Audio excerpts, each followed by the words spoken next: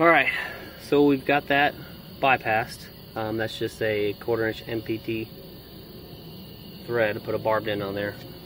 Our uh, 3 8 fuel line, which is going directly to our pump. So, turn the pump on again.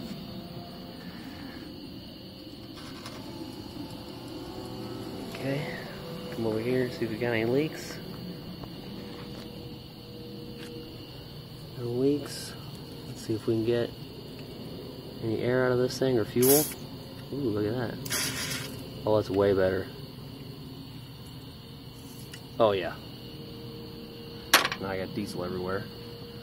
Alright, let's see if she starts. So we bypassed the factory fuel pump and we're on a straight electric.